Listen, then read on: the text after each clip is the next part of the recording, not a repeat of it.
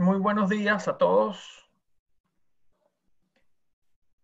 Ya vemos que se están conectando poco a poco. Vamos a dar unos segundos para el resto de las personas que se están conectando.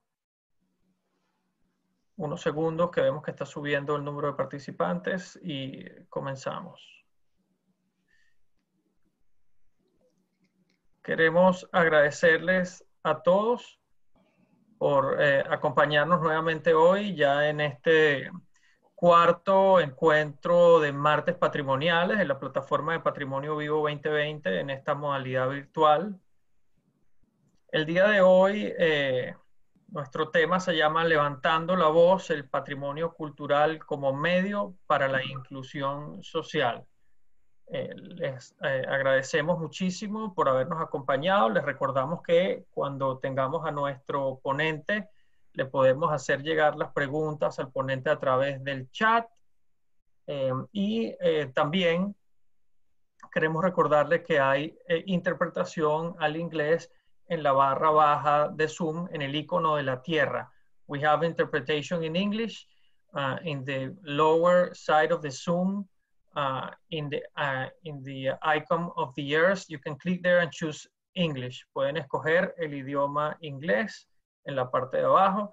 Les recordamos nuevamente que entonces nos pasen las preguntas por el chat cuando eh, querramos hacerle preguntas a nuestro ponente de hoy. Y los dejo entonces con Jesús Navarrete, quien es el coordinador de eh, la iniciativa y plataforma de Patrimonio Vivo. Jesús, adelante, muchísimas gracias.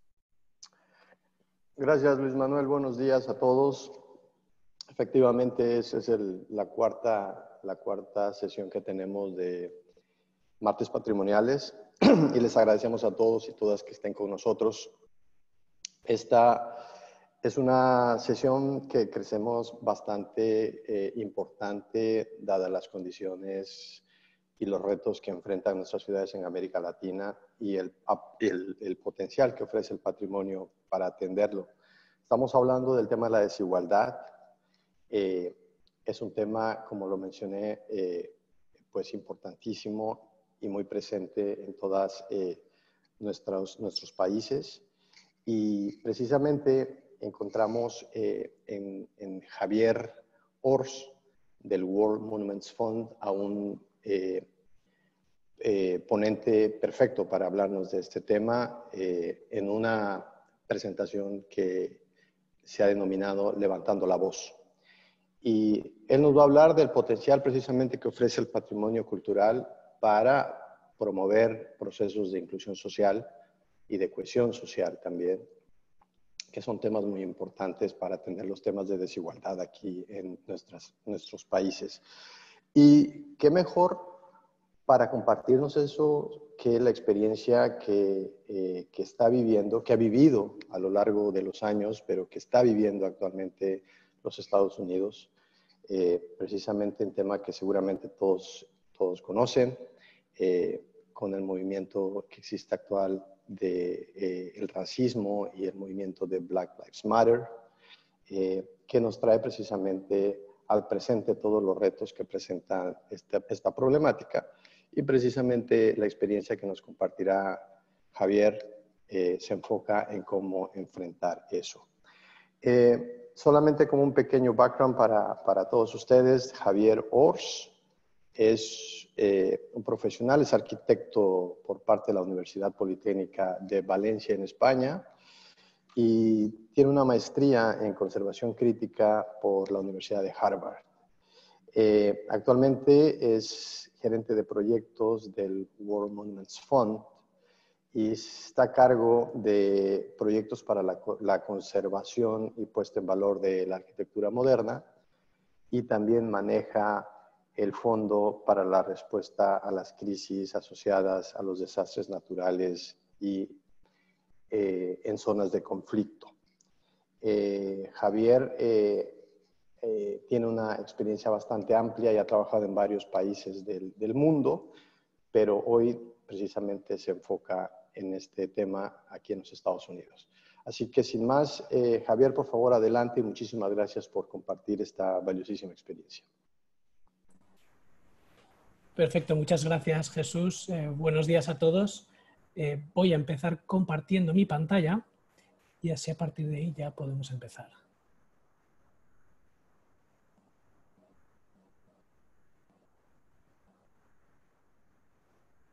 ¿Se ve, correctamente? Perfecto. Bueno, pues em, como decía, buenos, buenos días a todos. Gracias. Quiero dar las gracias primero a, pues, al banco, al BID, a, Jesús, a Tatiana, a Rodrigo, eh, por haberme invitado a estar hoy aquí a presentarles eh, un proyecto muy, muy importante que hemos desarrollado eh, recientemente en el World Monuments Fund y que, mm, bueno, que espero que les sirva como, como elemento inspirador para, aprender lo que hacemos y para saber hacia dónde va un poco la dirección eh, que nosotros esperamos que vaya también el, mundo del patrimonio, del de la conservación de patrimonio. Pues dicho esto, quiero empezar la presentación con, esta imagen. Esta imagen eh, fue publicada por el New York Times eh, recientemente, el pasado 23 de junio, y aquí aparece el monumento a, a, Robert Edward Lee en Richmond, Virginia, cubierto de pintadas, de grafitis, y de una proyección de Frederick Douglass hechas por los manifestantes del movimiento eh, Black Lives Matter a causa del fallecimiento, del reciente fallecimiento a manos policiales de George Floyd en mayo de este, de este año. Robert Lee, el monumento que vemos aquí, eh, fue un general estadounidense que luchó en la Guerra Civil Americana entre 1861 y 1865 defendiendo a los estados confederados del sur del país y la oposición a, la igualdad en derechos de, los ciudadanos afroamericanos en Estados Unidos. Y ahora quiero enseñarles esta otra imagen.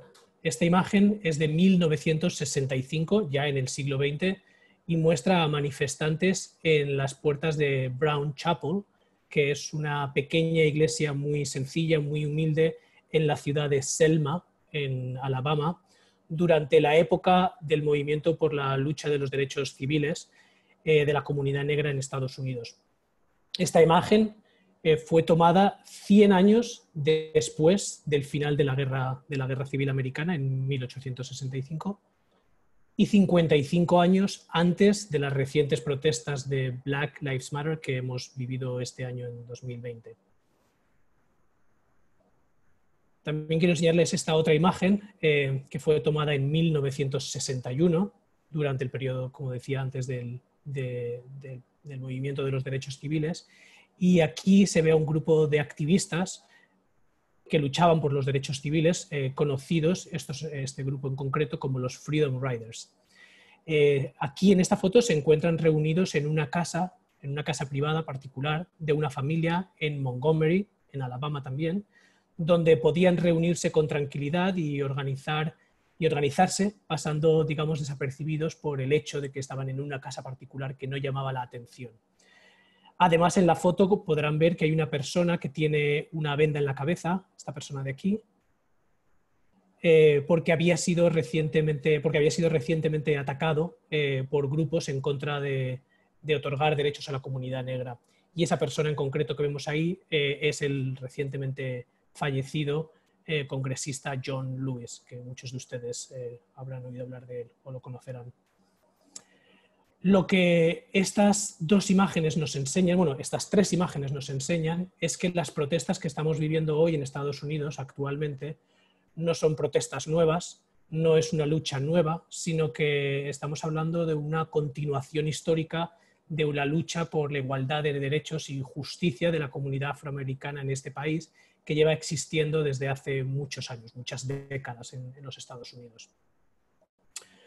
Pues bueno, estos dos lugares que les acabo de enseñar, tanto Brown Chapel en Selma como esta casa privada, esta vivienda privada en Montgomery, em, forman parte eh, de un grupo de 20 lugares históricos, algunos más humildes que otros, algunos con más valor arquitectónico que otros, y entre los que hay casas privadas, iglesias, centros comunitarios, un hotel, una barbería y muchos sitios más, con los que eh, desde el World Monuments Fund estamos trabajando desde el año 2018 eh, y que se han establecido de una manera, digamos, oficial como un consorcio llamado el Alabama African American Civil Rights Heritage Sites Consortium. Un nombre bastante largo, pero eh, en el que cada una de las palabras que forman parte del nombre del consorcio tiene un significado y por eso, por eso están ahí. Este grupo de lugares, eh, aquí ven algunas imágenes que, los representan, eh, tienen un valor inmenso patrimonial, inmaterial y unas historias increíbles y llegó a nosotros a través de nuestro programa de World Monuments Watch en 2018, un programa bienal donde incluimos 25, 25 eh, lugares eh, cada dos años y, empezamos a trabajar con ellos implementando proyectos muy, muy diversos. Este grupo de lugares llegó a nosotros, eh, como decía, a través del Watch, pero llegó a través de una nominación de una organización local que se dedica a conservar el legado del movimiento de los derechos civiles, que se llama el Birmingham Civil Rights Institute que está en Birmingham, otra, la tercera ciudad en esta ecuación en Alabama. Ellos, el Birmingham Civil Rights Institute, nominó estos 20 lugares, aquí tienen la lista de todos ellos organizados por su situación geográfica, eh, los nominaron al Watch con el objetivo de que trabajáramos con ellos en, digamos, elevar este grupo eh, de lugares a la categoría de patrimonio y les ayudáramos a impulsar nuevos eh, modelos pues, de, gobernanza y de gestión. Como decía antes, eh, estamos hablando de 20 lugares muy modestos eh, que están en el, estado de Estados, Unidos de Alabama y que están repartidos en tres ciudades distintas, Selma, Montgomery y Birmingham que de una manera u otra formaron parte del movimiento de los derechos civiles eh, por los eh, momentos históricos que pasaron dentro de, estos lugares, pero que precisamente por haber sido eh, sitios muy modestos y sin un claro valor arquitectónico, habían sido, digamos, olvidados o relegados, pasados por alto de la narrativa, de la historia oficial del movimiento que había tendido a focalizarse en los lugares y en las personas más, más icónicas. Así que este proyecto bueno, pues nos presentó bastantes desafíos. Primero porque estamos hablando de un grupo de 20 lugares muy distintos, algunos con usos definidos y otros no. Algunos están abiertos al público y otros no. Otros todavía siguen siendo usados como viviendas, como residencias privadas particulares de personas. Eh, algunos otros son espacios de culto activos eh, y además, por si eso fuera poco, eh, también están, se nos presentaba el desafío de la, distancia geográfica en la que se encuentran unos de otros, porque están repartidos en tres ciudades distintas y dentro de esas ciudades en una trama urbana, digamos, muy extensa en, en escala. Y bueno, por si esto además fuera poco, también se nos plantea, digamos, la realidad socioeconómica, se nos planteó la realidad socioeconómica de Alabama como uno de los estados digamos, eh, más eh, deprimidos o empobrecidos eh, en el país y con menos actividad económica que otros estados en los Estados Unidos. Y este gráfico que pueden, ver, aquí muestra una comparativa entre las donaciones filantrópicas, donaciones privadas por ciudadanos en distintos estados y ciudades americanas. Y como pueden ver, tanto el estado de Alabama como la zona del Black Belt, que es la zona donde se sitúan estas tres ciudades, se encuentra, digamos, en la parte más baja del espectro de, estas donaciones. Y esto, bueno, pues en un contexto como el contexto americano de Estados, de Estados Unidos, eh, es muy importante porque muchas organizaciones del mundo de la cultura y del arte se financian en gran medida gracias a las, eh, a las donaciones, a la filantropía, a las donaciones privadas. Y bueno, pues entonces digamos que esto no planteaba, digamos, un panorama muy positivo pero aún así incluimos eh, estos lugares en el programa del Watch de 2018, como decía antes, y empezamos a trabajar con ellos, con el Instituto de Derechos Civiles de Birmingham, que fue el nominador. Y em, antes de empezar a, explicarles el proyecto en sí, quiero un poco darles el contexto de qué es el Watch eh, y cuáles son los tres objetivos principales que buscamos en el Watch. pero que básicamente se articulan con el objetivo final de usar, digamos, la conservación del patrimonio eh, como vehículo para, producir algún tipo de cambio eh, con estos lugares. Entonces, nuestros principales objetivos son estos tres, eh, empoderar a las comunidades y mejorar el bienestar, mejorar el bienestar humano, perdón, para desarrollar, digamos, un, sentimiento de pertenencia y responsabilidad alrededor de estos lugares que potencien, además, la idea de que las comunidades alrededor de los sitios eh, de estos lugares son los principales protectores a largo plazo y por lo tanto también tienen que ser los principales eh, agentes que se beneficien de ellos. Esto lo hacemos intentando promover la participación eh, ciudadana a través de los procesos participativos en los que, desarrollamos. El segundo objetivo es el desarrollo, desarrollo económico sostenible y educación y profesional. Esto lo hacemos a través de planes de conservación y gestión que no solo involucren a la comunidad, sino que también tengan en cuenta factores como el impacto que puede tener en un lugar patrimonial eh, que sirve para a los ciudadanos o a una comunidad y el desarrollo económico que puede generar también la apertura, digamos, a un turismo sostenido y, controlado. Eh, todo esto eh, teniendo en cuenta que el desarrollo de un proyecto en un lugar patrimonial ofrece la oportunidad única para el aprendizaje de un grupo más grande de profesionales diversos y una oportunidad para la formación de, en muchos casos, de oficios tradicionales también para generaciones más, más jóvenes. Además de los puestos de trabajo que se pueden eh, eh, desarrollar eh, cuando implementamos un proyecto y a través de la gestión y el mantenimiento de estos lugares. y por último, mejorar la accesibilidad y la inclusión social. Para que haya un beneficio directo entre los lugares y las personas de las comunidades que los rodean, promoviendo que haya una acción colectiva y, digamos, una autoorganización también. Pues, por ejemplo, ampliando las horas de acceso del lugar para las personas de la comunidad o empleando a estas personas para las tareas, digamos, como decía antes, de mantenimiento y de conservación también. Así que, bueno, estos son los objetivos que nos marcamos eh, a través del Watch eh, actualmente y después de muchas conversaciones con nuestros colegas del Instituto de Derechos eh, Civiles, que como decía antes fueron los nominadores, nos planteamos tres iniciativas concretas a desarrollar con, este grupo de 20 lugares, que son las que ven aquí. Primero, la documentación de historias orales de, de, estos lugares, las historias que están vinculadas a cada uno de estos lugares y que los hacen únicos y especiales. Segundo, el fomento, de desarrollo, el fomento y desarrollo de capacitaciones locales y por último un proyecto de Creative Placemaking.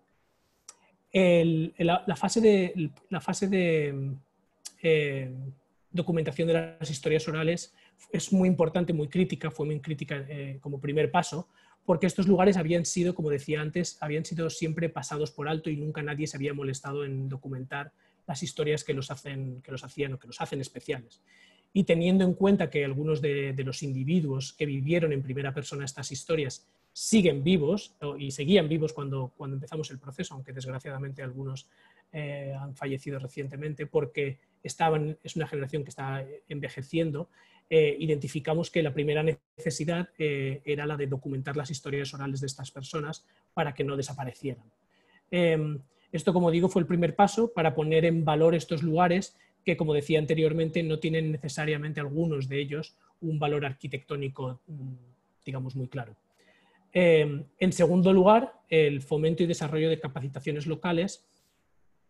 Esto es una prioridad para nosotros eh, porque eh, siempre intentamos fomentar y desarrollar capacitaciones allá donde vamos, haciendo que el proceso de desarrollo e implementación se convierta en el proyecto en sí mismo. No solo buscamos un objetivo final, sino que todo el proceso sea un, proceso educativo también y de capacitación de los grupos locales con los que trabajamos. Eh, queremos que todo el mundo aprenda de la necesidad de una acción colectiva y de la necesidad de crear una estructura interna de gobernanza que les ayude a trabajar hacia la autogestión, la colaboración, compartir información y generar, un valor público alrededor de estos 20 lugares. O sea que el proceso también se presenta como una oportunidad para fortalecer y consolidar el consorcio, la institución que ellos han creado, eh, dándole estructura de gobernanza y herramientas para que definan sus objetivos digamos, financieros, programáticos y estratégicos a, largo plazo. Y por último, el proyecto de Placemaking, eh, que es una iniciativa que desarrollamos para que les sirviera al consorcio como manera de identificar modelos y estrategias eh, que fueran relevantes a ellos y que pudieran informar, digamos, las siguientes etapas de crecimiento y desarrollo del consorcio, con un énfasis especial en las oportunidades, digamos, económicas, sociales, educativas y culturales que pueden ser beneficiosas para ellos, que, de las que se pueden aprovechar. Y esto lo, hemos, estado desarrollando y ha sido la, última fase de este proyecto que hemos finalizado recientemente. Así que, bueno, focalizándonos por un momento en la parte de documentación de historias orales, eh, el proceso eh, eh, es, este que ven aquí y estos son, digamos, los cinco aspectos más importantes que, que nosotros desarrollamos en este proceso. La primero es la identificación de los socios locales y la generación de confianza. Primero porque el nominador fue el Instituto de Derechos Civiles, pero necesitábamos otros socios locales que nos ayudaran en este proceso, además de los propios miembros del consorcio, eh, con los cuales teníamos que generar un sentimiento de confianza, porque eh, lo que íbamos a documentar eran sus historias familiares y personales vinculadas a estos lugares y obviamente no queríamos que nos vieran a nosotros como un agente externo que viene a imponer una agenda, una agenda de fuera, sino todo lo contrario. Eh, fuimos allí, digamos, de manera muy humilde a trabajar con ellos y para ellos, entendiendo cuáles son sus necesidades y cuáles son sus, digamos, objetivos y esperanzas a largo plazo. Y de esa manera también eh, hacer que el proceso fluyera de una manera más natural y de, también, sobre todo para la, parte de documentación de historias orales, que ellos nos contaran de una manera, como digo, natural eh, estas historias y se sintieran cómodos contándolas, contándonoslas delante de, pues, delante de una cámara, ¿no? que no es, cuando no estás acostumbrado puede ser algo incómodo. Eh, el segundo punto es que realizamos una investigación muy rigurosa de estas historias ligadas a cada uno de los lugares y, también eh, complementado con archivos históricos. Para ello trabajamos con historiadores, trabajamos con miembros de la comunidad y obviamente hubo todo un proceso de comparar todas estas, toda la documentación y todas las historias para asegurarnos que lo que estábamos, lo que íbamos a documentar y lo que las historias que íbamos a dar visibilidad pues eran ciertas, eran verídicas y además estaban contextualizadas con documentos históricos, tanto fotografías como recortes de prensa, etcétera, etcétera. Eh, luego ya la tercera fase, que es la de realización de las propias entrevistas, una producción y edición, pues para que al final todo este material que está en los archivos iba a ser accesible para eh, cualquier persona que tenga, quiera tener acceso a él, pero también haya una, haya una versión, digamos, editada, producida, que sea, digamos, más atractiva al público eh, general y que de esta manera dé visibilidad a, estas historias de una manera sencilla. El cuarto punto es la documentación y la catalogación de los edificios, digamos la parte física de la materialidad de, estos edificios desde el punto de vista arquitectónico. Y por último, la promoción y la accesibilidad al material producido eh, y guardado en los archivos. Es decir, dar visibilidad a todo este material porque el objetivo fue documentarlo, pero también, como digo, en el proceso elevar estos lugares a la categoría de patrimonio, y que hubiera más conocimiento de ellos y de las historias en, un público más, más, más grande. ¿no? Eh, aquí tienen unas imágenes de algunas de las entrevistas que realizamos eh, estos son algunos de los individuos durante la entrevista eh, en el contexto del edificio de donde nos estaban contando las historias. Algunos, uno de ellos está en la barbería, es el, señor, el barbero, que trabajaba en esta barbería donde bueno, pues pasaron distintas cosas. Eh, una, otra de las señoras en, Brown Chapel, de hecho, la iglesia que les mencionaba principalmente. Y ahora lo que me gustaría enseñarles es un vídeo de entre 3-4 minutos eh, para que vean una de estas historias, eh, como digo, fueron muchas las que documentamos, pero para que vean eh, la categoría de, del tipo de historias que estamos, que estamos ah, hablando ahora mismo. Aquí, que así se lo pongo y ahora continuamos.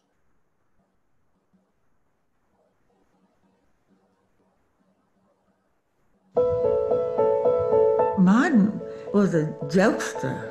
My mother had these long plans and she could put a dozen biscuits on each one of them. Mine would say, Now who is that coming in the door?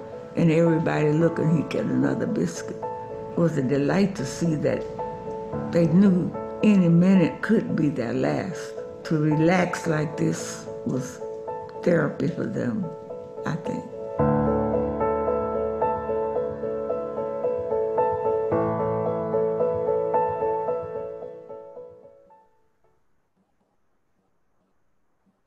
This house was once living quarters for people that worked at the cotton gin, which is located across the street. The people that owned the land sold these houses, and my mother and father bought them. These houses are about 110 years old. but they're still sturdy and strong. Coretta and I had been knowing each other since I think we were 14. We had an organ that my granddaddy used to play. I would be on the organ. And Coretta would sing. She had the most beautiful voice. The people all in this neighborhood would come out on out on their porches and out on their yard and just stand and said, Who is that? I never heard her sing after we grew up. She laid aside her talent. It all went to Martin and the movement. We had been at having regular meetings, uh, mass meetings at St. Matthew Church, which is over there. That particular night, we had Reverend Showsworth, T.Y. Rogers, Jose Williams, Albert Turner. You know, Martin was the slowest person. He's slow to speak, he's slow to walk, he's slow to talk, and he was still there talking. So this someone came in the church in such a hurry. And they said, Is Dr. King here? And we said, Yes, he's here. Said, Don't take him down 14 because the clans are waiting on him. All the churches around was burning. So that's why we brought him here.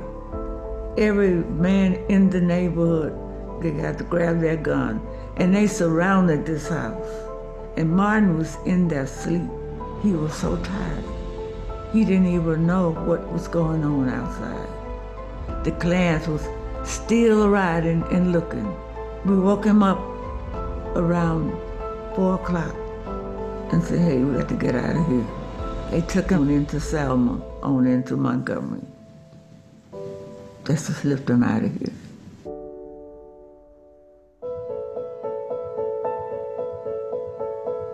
I had so many pictures. I said they need to be seen by even the unborn generation that's coming along. We have nothing to show for our participation in this movement. We needed something positive that you could see, walk in there and see, and you can almost feel it as you walk in the door. We had a group came here from different places and we sang, We Shall Overcome. There's one song everybody knows. Everybody sang in their native song. It was the most beautiful thing you wanted to see. Martin would love that.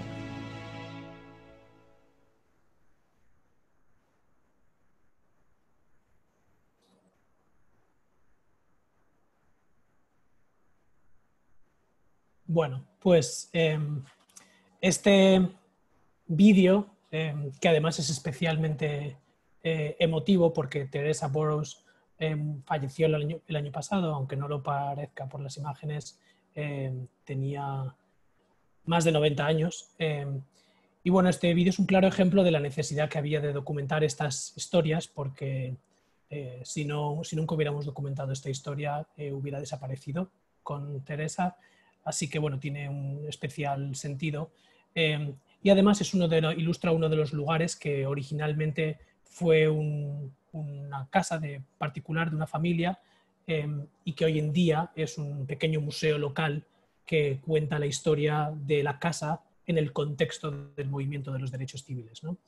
Eh, y bueno, esta historia y tantas otras, todo el, resto de historias que están vinculadas a estos 20 lugares, eh, también existen, además de los archivos de la, Biblioteca del Congreso y, del Birmingham Civil Rights Institute, también existen en una plataforma online que creamos desde el World Monuments Fund en colaboración con, nuestros colegas de Alabama, eh, una plataforma que se llama Voices of Alabama y que se puede encontrar en el enlace voicesofalabama.org o .com, eh, donde están todas estas historias, las biografías de los participantes, eh, todo el material de archivo disponible y accesible eh, para, todo el mundo. y que forma un poco parte ¿no? de nuestra misión de, digamos, de diseminación de conocimientos y de, todas estas historias ¿no? Eh, que tenemos en este proyecto particular, pero como misión también desde la organización. Y bueno, en paralelo a, la documentación de las historias orales que nosotros realizamos conjuntamente con nuestros colegas en Alabama, eh, el consorcio también ha estado trabajando con el National Park Service de los Estados Unidos en documentar, como decía antes, el aspecto físico, material de los sitios a través de fotografía y de levantamientos arquitectónicos, tanto del exterior como del interior de cada uno de los, edificios. Esto lo han hecho a través de la iniciativa de, Heritage Documentation Program del National Park Service.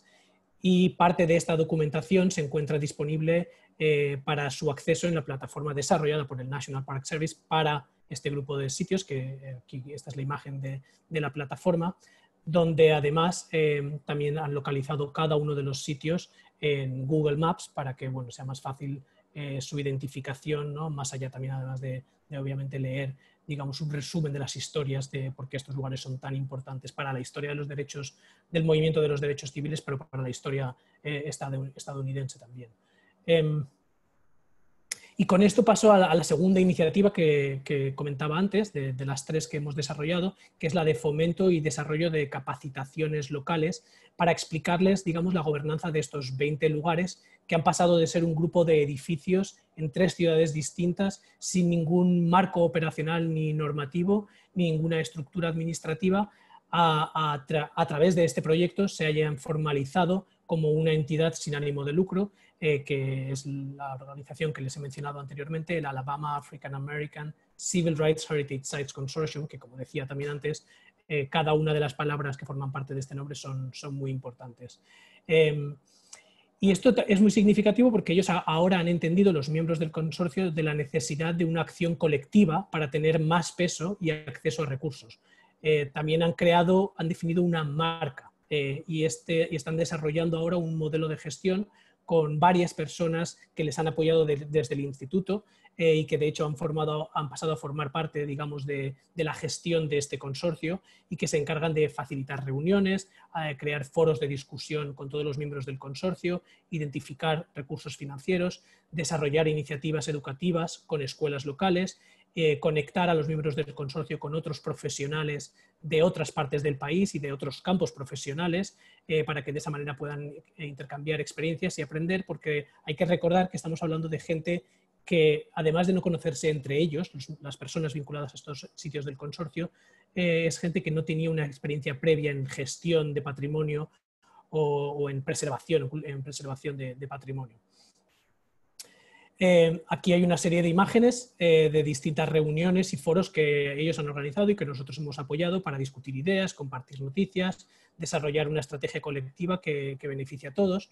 Eh, porque como decía antes, todos estos miembros del consorcio nunca habían estado en una habitación juntos antes compartiendo no solo sus historias, sino también digamos, sus ideas para los lugares, de los planes que les gustaría hacer.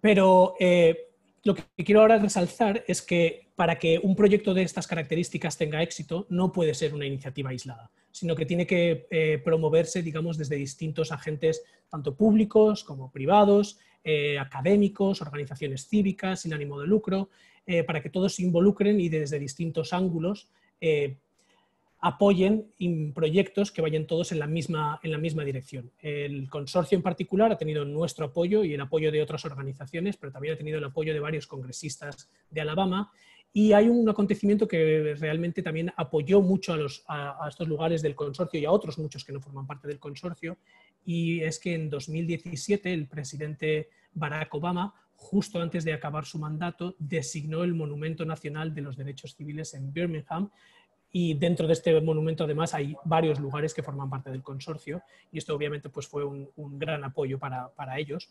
Eh, y hace aproximadamente un año y medio se inauguró en Montgomery el Monumento Nacional por la Paz y la Justicia. Eh, en este caso, este monumento fue promovido por una organización independiente llamada el Equal Justice Initiative eh, y es un monumento que promueve que las personas se enfrenten digamos, a capítulos de la historia complicados eh, como en este caso, este monumento que es para nos muestra de una manera abstracta, digamos, el linchamiento que sufrió la comunidad afroamericana en Estados Unidos. Y ya por último, para acabar, quiero eh, explicar muy brevemente la tercera iniciativa de nuestro, de nuestro proyecto, que fue la iniciativa de Creative Placemaking. Eh, este es un proyecto que, como he dicho antes, buscaba establecer modelos y estrategias, identificar modelos y estrategias eh, para el futuro crecimiento y desarrollo del consorcio de estos 20 lugares desde la lente económica, social, educativa y cultural. Em, y sobre todo eh, un poco definir cuál es el papel que pueden jugar, digamos, distintas disciplinas culturales e incluso artísticas para el la futura gestión de estos edificios. Y bueno, estas son las, eh, cuestiones iniciales con las que comenzamos esta iniciativa, eh, entre las que estamos, pues como ven ahí, cuáles son las características que unen estos 20 lugares, no solamente físicas y tampoco las historias, pero también sociales o políticas cuáles son las historias que más pueden resonar, eh, digamos, entre, entre, la gente que esté interesada en estos lugares, cuál es la situación política eh, en, Alabama eh, y cuáles son, digamos, como temas que están de relevancia ahora mismo y que tienen, digamos, cierto impacto porque estén de moda en, estos, en estas ciudades donde están los lugares y que ellos se pudieran beneficiar. Y nuestro análisis y experiencia trabajando con ellos en este proceso nos ha enseñado que la dirección en la que tiene que ir debe de incluir estos tres aspectos principales. Historia, espacio y propiedad. Historia porque la creación, deberían, tienen que crear eh, nuevas eh, narrativas a través de las historias que, que, los diferencian de otros lugares y a través de un, lo que llamamos un storytelling innovador. Es decir, que en este caso los sitios del consorcio tienen una oportunidad que creemos que es única de contar unas historias eh, especiales que no se han contado antes y que las pueden, que las pueden compartir en primera persona y además eh, lo pueden hacer ellos de manera, eh, una manera novedosa e innovadora. Pues, por ejemplo, a través de instalaciones artísticas vinculadas a cada uno de estos lugares específicamente y a las historias específicas de estos lugares, o desarrollando currículums o, y tours con escuelas locales y también nacionales eh, de jóvenes para que las visiten y aprendan de la misma manera que se se organizan visitas a Washington, D.C., pues eh, quizás a una escala distinta, pero también podrían organizarlas a estos lugares, eh, o generando también quizás residencias temporales para artistas o escritores eh, que trabajen con este tipo de ideas en, en, algunos de estos lugares. ¿no? Estas son algunas de las ideas que hemos estado discutiendo con ellos. En cuanto a espacio, eh, digamos, es a través de intervenciones, lo que decimos, ya hemos llamado intervenciones espaciales dinámicas, promoviendo que el grupo se mueva y crezca en conjunto, de manera conjunta, y construyan elementos educativos y profesionales, de manera que haya un beneficio conjunto de todos los sitios a la vez, eh, por ejemplo, trabajando con las autoridades municipales para que haya un reconocimiento de estos lugares a través de la creación, por ejemplo, eh, de un distrito en las ciudades donde se encuentran, de los derechos civiles que atraiga inversión y quizás también ayude a la creación de nuevas iniciativas empresariales pequeñas eh, o medianas y de una manera sostenible para, digamos, reinventar los usos de algunos de estos lugares que, en, el, corto plazo van a, pueden abrir, al público. Y por último, propiedad, es decir, que se cree un liderazgo de base, eh, lo que en inglés se llama un movimiento grassroots, es decir, que emerge de las personas normales de la comunidad y velando por su interés llega hasta las instituciones y potenciando un gran sentimiento de pertenencia de la narrativa y de propiedad de los recursos que esa narrativa genera. Y bueno, con esto ya quiero acabar y decir que todavía queda mucho trabajo por realizar, eh, no solo con estos lugares de Alabama, sino con muchos otros eh, lugares en Alabama y en otras partes de los Estados Unidos y en otras partes del mundo, porque estas, la historia de estos lugares y lo que estamos haciendo con ellos se puede extrapolar a muchos otros, a muchos otros casos. Eh, y que ahora eh, tienen, bueno, pues estos lugares en, particular, a través de nuestro apoyo, han tenido la oportunidad de alzar sus voces, contar su historia y elevarla, digamos, a esta categoría de patrimonio. Todavía estamos en proceso de trabajar y habrá muchas más cosas pasando en los próximos años con ellos. Eh, pero, nosotros vemos que esto ha sido como un proyecto en el que hemos sembrado una semilla y que van a acabar pasando muchas cosas más grandes que lo que, lo que les he enseñado hoy. Y bueno, con esto ya acabo y muchas gracias y me pongo a, su disposición para cualquier pregunta. Muchas gracias, Javier. Em, agradecemos eh, tu presentación. Ya tenemos un par de preguntas. Eh, la primera la voy a hacer en inglés para que em, sea claramente como la plantean. Em, nos preguntan, what structural interventions were used to make the sensitive and vulnerable heritage or artifacts an active and functional part of the park or recreational life of the community? No sé si termino de entender muy bien la pregunta, eh, pero si, la pregunta es, sobre, sobre las estructuras en sí y qué, tipo de... ¿Puedes repetirme la pregunta? Perdona. Sí, o sea, eh, ¿qué intervenciones eh, estructurales se usaron para poder hacer que, los, que este patrimonio sensible y vulnerable sea una parte activa y funcional dentro de la vida recreativa de la comunidad? Ya. Bueno, eso es exactamente en lo, que, lo que hemos estado trabajando más recientemente y en lo que están trabajando ellos actualmente, porque estos lugares han sido siempre parte de la vida de, las comunidades en las, que en las que están insertados, digamos.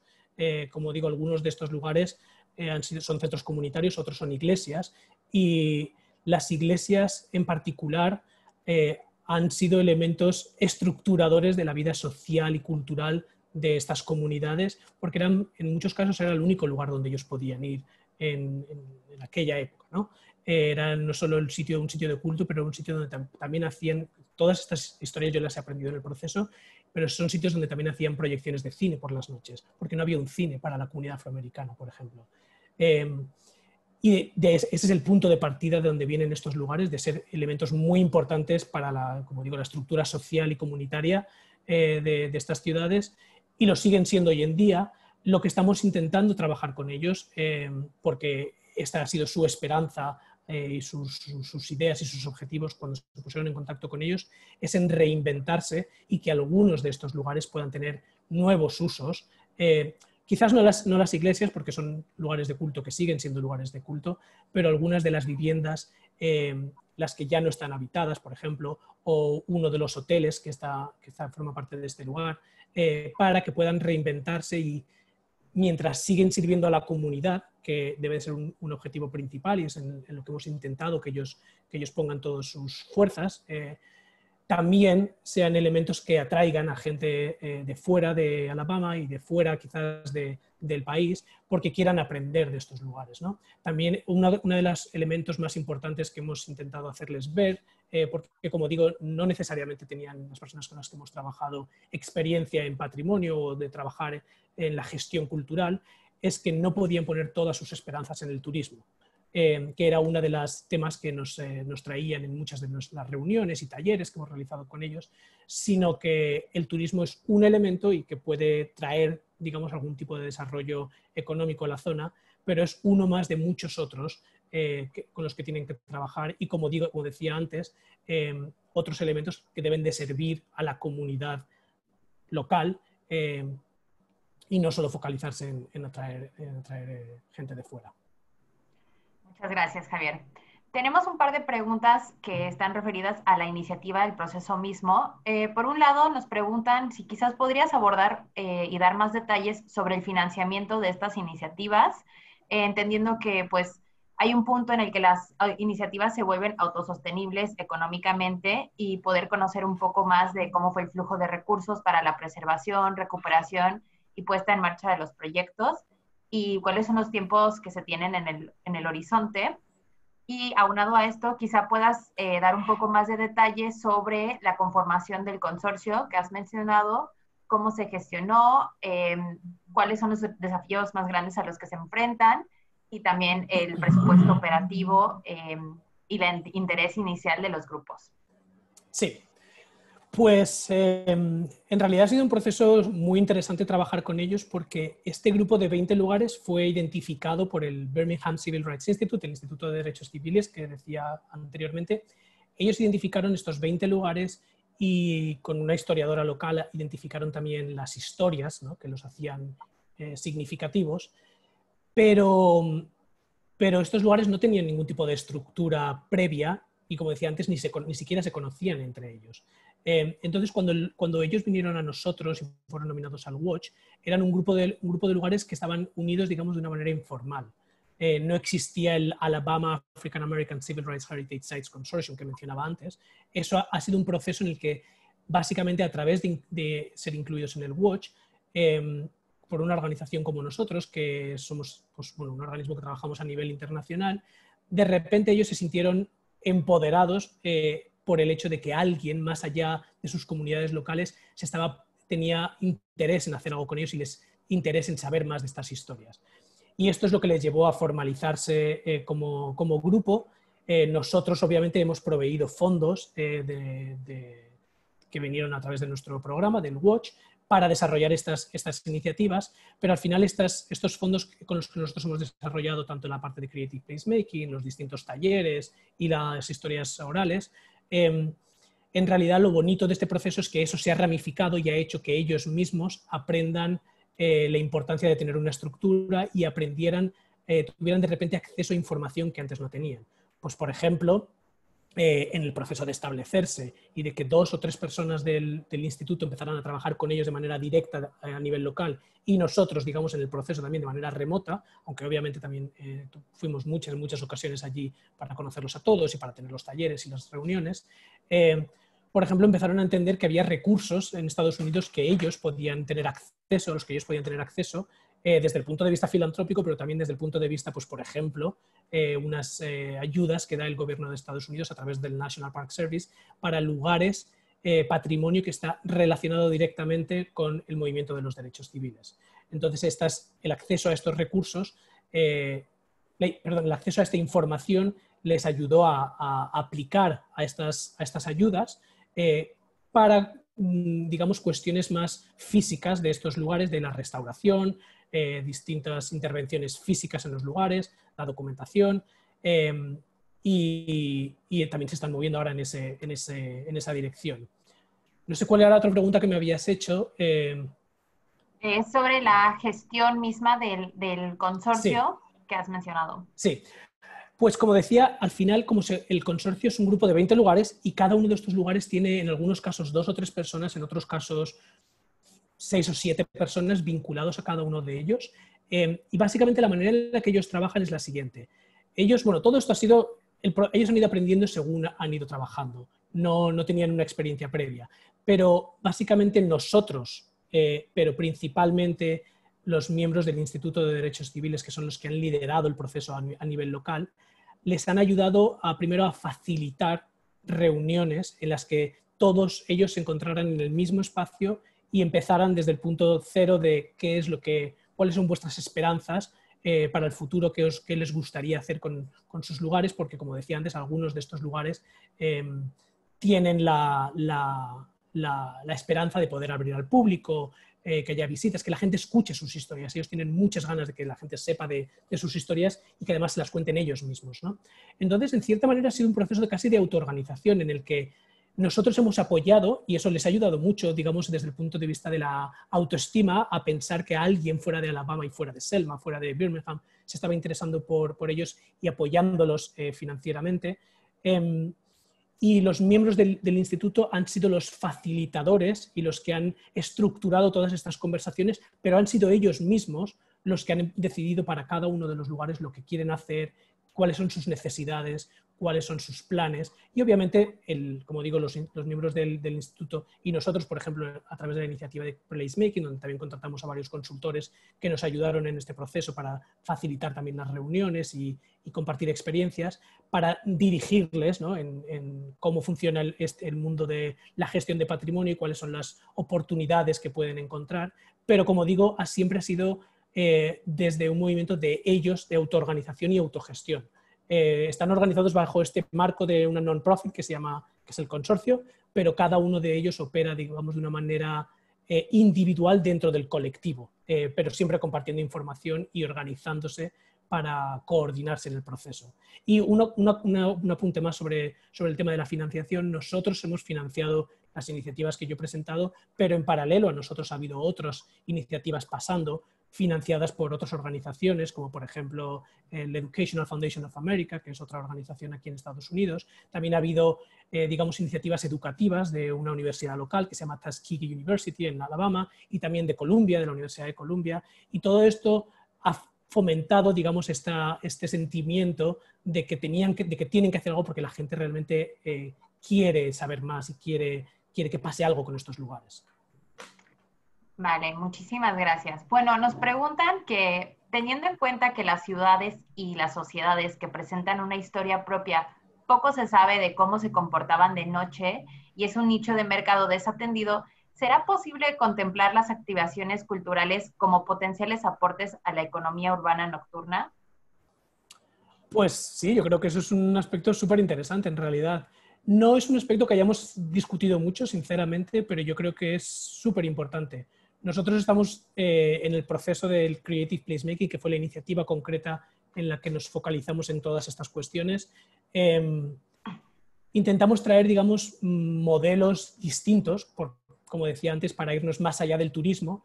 Em, y yo creo que desde luego la activación de estos lugares eh, con actividades eh, nocturnas es algo interesante a explorar, a explorar. Como digo, no es algo que hayamos que haya estado en nuestro radar en el proceso, pero desde luego nosotros el objetivo final eh, en este proceso para nosotros es siempre que, sea, que sean iniciativas que ellos se beneficien del mundo y de las, iniciativas culturales y artísticas que están pasando en otras partes más allá de Alabama, las traigan allí, las readapten y haya un beneficio tanto porque haya atracción de gente y de inversión externa, pero sobre todo que haya un impacto a nivel social y cultural eh, local y que se involucre a, las personas del consorcio, porque muchos de nosotros que trabajamos, bueno, que somos arquitectos, trabajamos, digamos, en, cuestiones culturales y, gestión, sabemos que se corre siempre el riesgo ¿no? de que al final eh, se, implementen iniciativas culturales y, y, lo que acabe pasando es que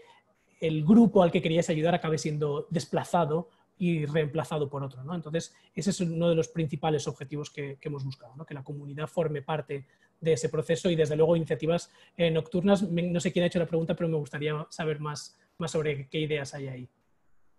Vale, muchísimas gracias. Y bueno, Jesús Navarrete, creo que tienes una última pregunta. Eh, sí, muchísimas gracias, Javier. Y sé que hay otras preguntas. Eh, estaba viendo el chat.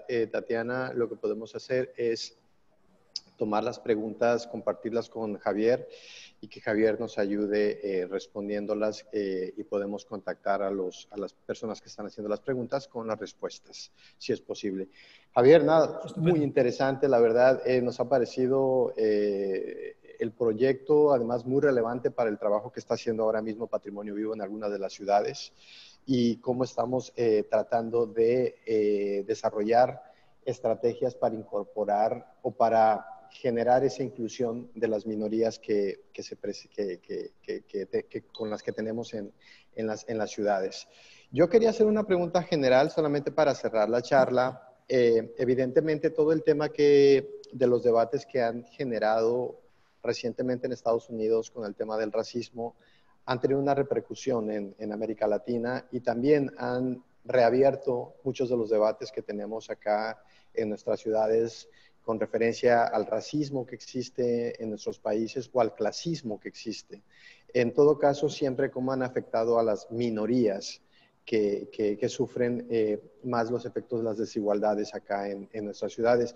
Y te quería preguntar a modo de, de, de cierre de esta charla tan interesante, ¿cuáles serían esas lecciones que tú crees que podemos sustraer de, de, esta experiencia en eh, el trabajo que han realizado ustedes en este proyecto de Alabama y de forma práctica cómo podríamos nosotros eh, orientarlas para su aplicación acá en las ciudades de América Latina con un patrimonio cultural tan, eh, tan rico. Y con eso te doy a ti la palabra. Pues bueno, em, una pregunta que en realidad la respuesta yo creo que sería bastante extensa y además a mí me encanta hablar, así que podría estar hablando de eso mucho rato. Pero de manera resumida yo diría que una de las eh, cuestiones ¿no? que nosotros hemos aprendido en este proceso es, bueno, lo importante, yo como arquitecto y como profesional, digamos, del mundo de patrimonio, lo importante que es em, trabajar en el mundo de patrimonio de una manera inclusiva, es decir, intentando expandir la idea de lo que hoy en día, de lo que tradicionalmente se, ha considerado como patrimonio, vinculado quizás a cuestiones, a valores eh, físicos, a valores estéticos y también a valores relacionados a determinadas comunidades, em, donde se ha relegado en ese proceso otras voces, pero también otras arquitecturas y otros lugares, pues porque no formaban parte de esos cánones. Em, entonces, eh, yo creo que estamos en un momento en el que eso está cambiando y este es un claro ejemplo de ello. Y también, bueno, la importancia de, una de las cosas más importantes para mí en este proceso como profesional que yo he aprendido es la importancia de sentarte en la mesa con otras personas y escuchar cuáles son sus ideas, sus planes, sus esperanzas y, de esa, y a partir de ese momento aprender a cómo trabajar con ellos, para ellos, guiándoles eh, desde tu experiencia como profesional, porque al final esto es una iniciativa profesional del mundo de patrimonio, pero como digo, también eh, estando muy abiertos a escuchar, a escuchar lo que, lo que ellos tienen que contarte. Y sobre el tema de cómo este proyecto en particular se relaciona, se puede relacionar en otros contextos, yo creo que hay muchas ideas de este proyecto que se pueden extrapolar a muchísimos eh, otros contextos del mundo que a veces están más claros porque recientemente se habla de ellos, pero en otras ocasiones, eh, sin darnos cuenta en, otros eh, contextos de otros países, sigue sin hacerse y no, y no digamos, no, no, identificamos cuál es el problema. Entonces, pues bueno, no sé, al final yo creo que lo importante, y como digo, esta seguramente sería la, la respuesta que sería mucho más larga, lo importante es identificar, primero como punto de partida, identificar cuál es la realidad de, esos lugares hoy en día. Y también identificar cuáles han sido los grupos, digamos, de, privilegio, de élite, que han controlado las instituciones, eh, en este caso instituciones pues, relacionadas con el mundo de la cultura, con el mundo de patrimonio, con el espacio construido, quiénes han sido los grupos que han estado a cargo de esas, de esas instituciones tradicionalmente para intentar cambiar eh, primero las estructuras internas de algunos de estos lugares, porque si quieres cambio tienes que escuchar a otros grupos, tienes que identificar y analizar lo que está pasando en el mundo, pero el cambio tiene que empezar desde dentro de las instituciones, yo creo. Eh, es un caso un poco paradigmático, ¿no? Que yo como persona pues español, eh, blanco, eh, acabé trabajando en este proyecto en Alabama y bueno, yo como decía al principio lo he hecho de una manera muy humilde y ha sido un proceso de aprendizaje para mí también. Eh, pero yo siento que este tipo de proyectos en una organización como las nuestras pues deberían de estar liderados también por ellos mismos, por, por, por, por personas que formen parte de la comunidad afroamericana, porque hay profesionales buenísimos en el mundo de patrimonio en estos momentos. Y bueno, eso son, yo creo que un cambio importante es el, cambiar, el, el, preguntarnos cómo, cómo, se gestionan estas, las organizaciones que implementan estos proyectos y luego también, como decía antes, analizar cuál es la situación ahí fuera y, qué grupos son los que han estado tradicionalmente relegados de la narrativa oficial para entender y, y, a partir de ese momento escucharles. Eh, en muchas ocasiones, como en este proceso, en este proyecto nuestro, la gente no tiene una idea clara de lo que quiere, tiene muchas ideas abstractas, muchas esperanzas de cambiar las cosas, pero es ahí donde bueno, nosotros jugamos un papel importante en, digamos, guiarles y darle forma a esas ideas conjuntamente con ellos, pero desde luego escuchando eh, qué es, cuáles son sus, sus eh, digamos, eh, como decía antes, esperanzas. ¿no? Em, y a partir de ahí trabajar con, con, ellos. ¿no? En Estados Unidos yo me he focalizado en este proyecto en, el, en la comunidad afroamericana, pero también está la comunidad indígena, que pues bueno, durante muchos años y sigue siendo eh, ¿no? algo que no está como en la agenda oficial de, muchos eh, gobiernos estatales, municipales, eh, nacionales, em, y, luego muchas otras comunidades que, se han desarrollado en los Estados Unidos en, el, pasado más, en el pasado más reciente. ¿no? Y como esos hay otros grupos pues en España, donde yo vengo, en países latinoamericanos también, donde bueno, pues hay grupos que no han sido representados, digamos, no su, patrimonio, su historia no ha sido manifestada en el espacio construido y ahora yo creo que es el, momento de, que eso pase. ¿no?